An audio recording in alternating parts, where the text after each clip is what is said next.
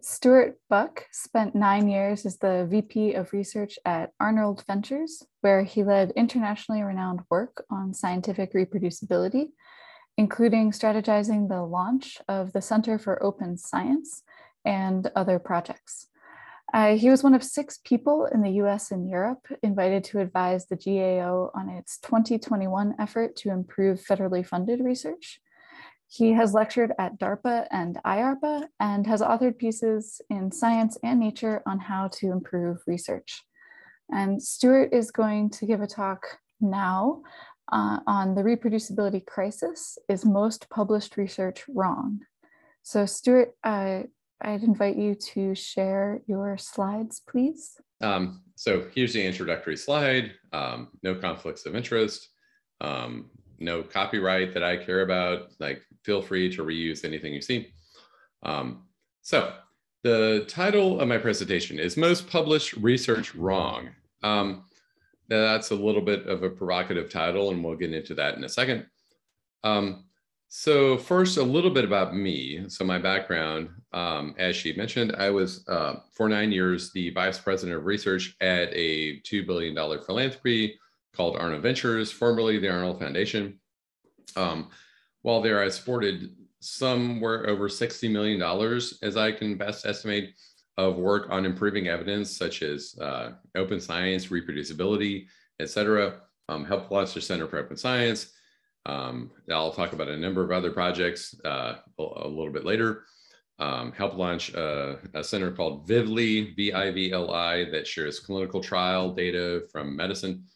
Um, so uh, did a bunch of stuff there, had the privilege to do that.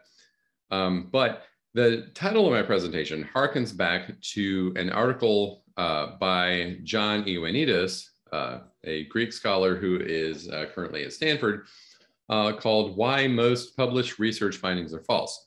Now, of course, um, John Ioannidis did not go back and actually re-examine all possible research findings, like no one could do that.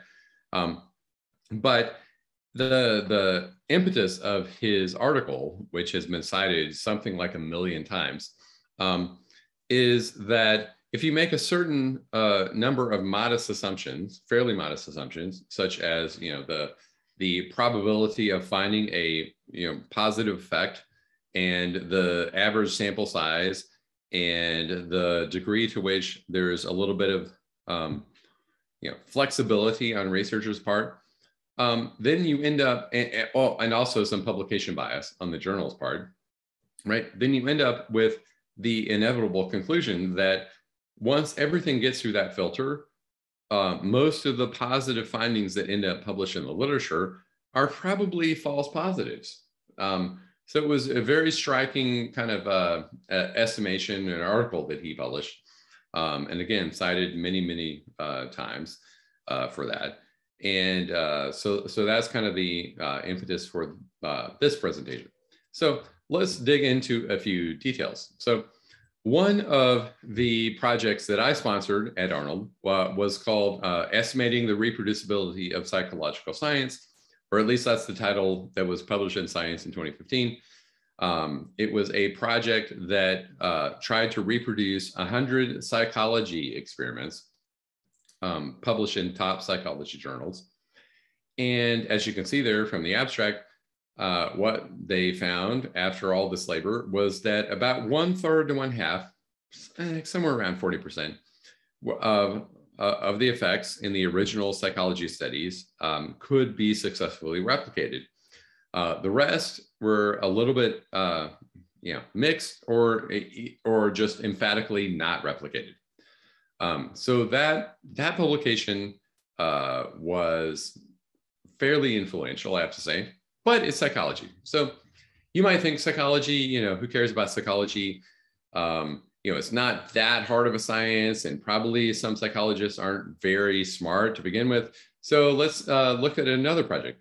Um, the reproducibility project in cancer biology. And this was just by happenstance uh, released in the past week.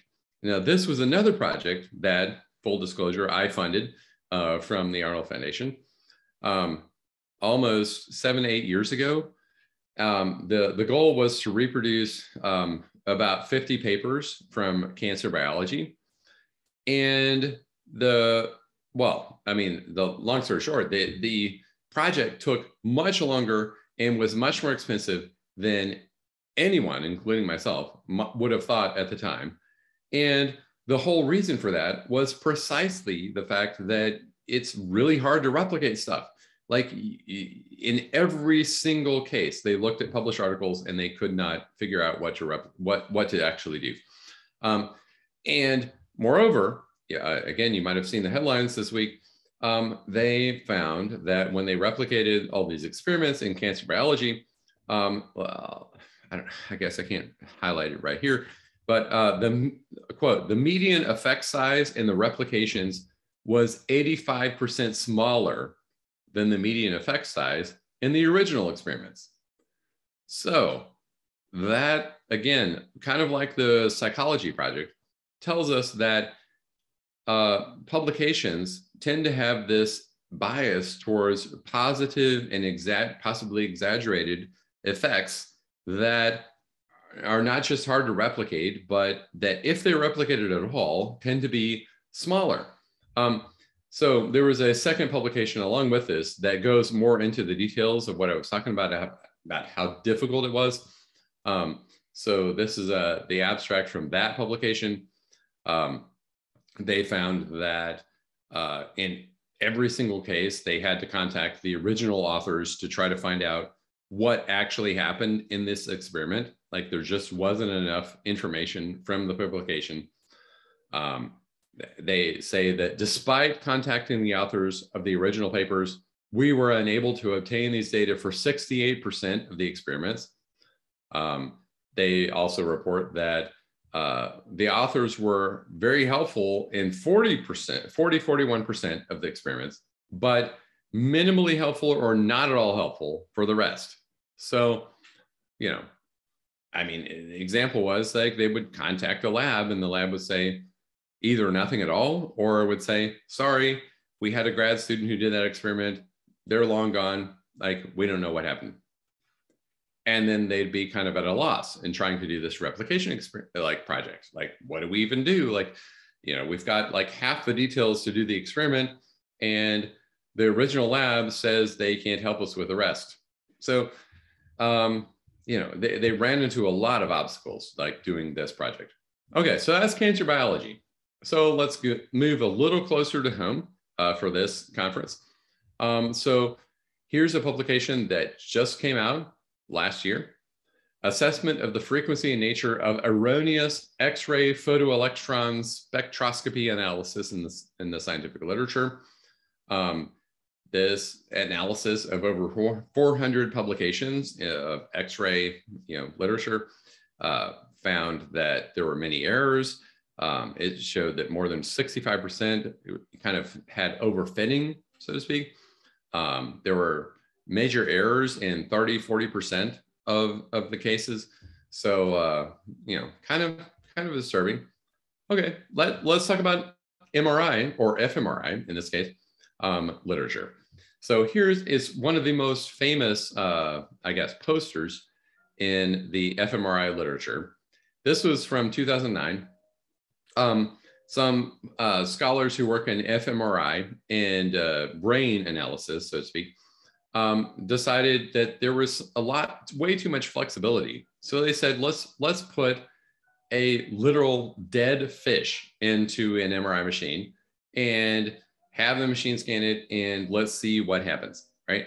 So you can see there on the poster, they report that one Atlantic salmon participated in the study uh, it was 18 inches long, weighed 3.8 pounds, and was not alive at the time of scanning. Right. So then they presented the salmon, this dead salmon, with a series of photographs depicting human individuals in social situations with a you know particular emotional valence, meaning like it might be sad, might be angry, um, and then quote the salmon was asked to determine what emotion the individual in the photo must have been experiencing. Well, long story short, they found that once you did all these analyses and um, if you failed to correct for multiple comparisons in the statistical sense, you actually were able to find that there were occasions where it seemed like the salmon's brain was lighting up um, and, and in, in terms of, you know, representing particular human emotions. Um, obviously false, obviously a false finding. Um, so this, this kind of hit the fMRI world, um, I think by storm. Um, so there were a number of publications after that, you know, how reliable are the results from functional, functional magnetic resonance imaging, um, cluster failure, why fMRI inferences you know, have inflated false positive rates, et cetera. Um, so uh, there have been a num number of other publications since.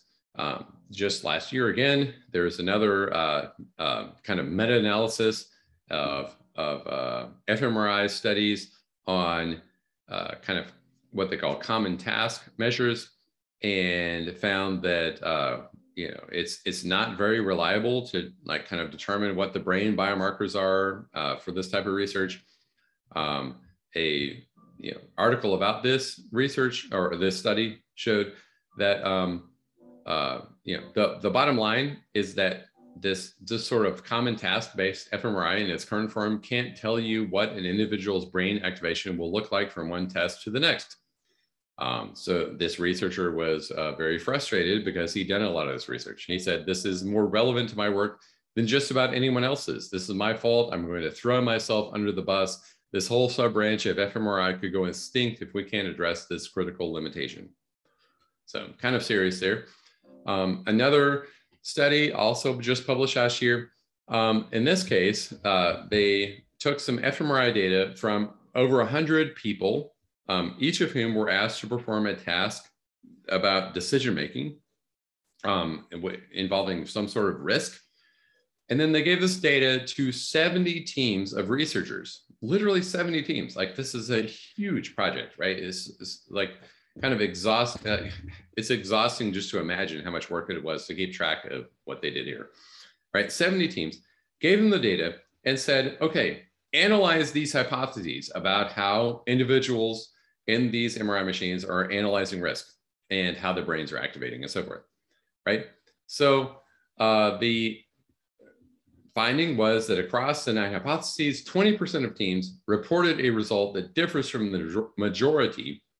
Um, and this demonstrates that analytic choices have a major effect on reported results. Um, so uh, another description of the findings, the team's results vary dramatically for five of the nine hypotheses being investigated. Um, sometimes there were teams that reported a positive result and other teams that reported a negative result for the same question on the same data, right? So Russ Poldrack, um, a Stanford professor, uh, said that the main concerning takeaway from our study is that given exactly the same data and the same hypotheses, different teams of researchers came to very different conclusions. Um, so kind of disturbing if you think about it, right? Um, so advice would be adapt good practices, share data if possible, share code um, if possible, share the results no matter what, whether they're positive, negative, mixed, you know, messy, etc. Pre-register the research so that you kind of tie yourself down in advance. Um, do robustness checks, um, you, use the best statistical methods you can. Um, if you want to share data, again, full disclosure, this is a, a, a, grant, a former grantee of mine that I helped launch the Stanford Center for Reproducible Neuroscience uh, with Russ Poldrack. So they host the um, Open Neuro project, um, which I'll go to the next slide. Uh, Open Neuro is a free platform for sharing uh, data on MRI and other forms of data. Um, and this, this is about brain data, by the way. So there might be folks who use MRI for other types of other types of research, other types of data. This is about brain uh, data in particular. Um, but it's a place to go and share data uh, in a way that's consistent and um, that's well known. Um, so, uh, I mean, the goal is that with, with broader sharing of data, with broader use of these kinds of best practices, um, that hopefully the research can be um, elevated to even a more robust and uh, rigorous uh, status uh, than has been the case in the past. Um, so anyway, that's my presentation. Uh, thanks so much. I'm glad we finally got online here. Yes. So thank you very much, Stuart. That was great. Um, I appreciated the work that you highlight. Hopefully I can figure out how to stop sharing screen. Um, oh, there we go. Uh, so any attendees are welcome to put questions in the Q&A or the chat. Um, Stuart, I was wondering, so you mentioned a few uh, practices that could be adopted. Um, you know, when if you think about like manufacturing, there is, you know, GMP, good manufacturing practices, and those are documented and written down. Are there any um, documented resources that you know of? That's a good question. Um, so there are some guidelines uh, for journals and funders um, called the TOP guidelines, TOP, T, which stands for Transparency and Openness Promotion. Um, those are some really kind of generic guidelines about sharing data, sharing code, et cetera. Um, when it comes to MRI specific research, I, am not as familiar with that specifically about whether there's really a code of best practices that is really aimed at improving reproducibility. Um, there, there may well be, for all I know, actually. So, um, but but yeah, I mean, there's there's a number of best practices uh, out there, you know, that are more broad and generic to you know across a number of fields. Okay, thank you.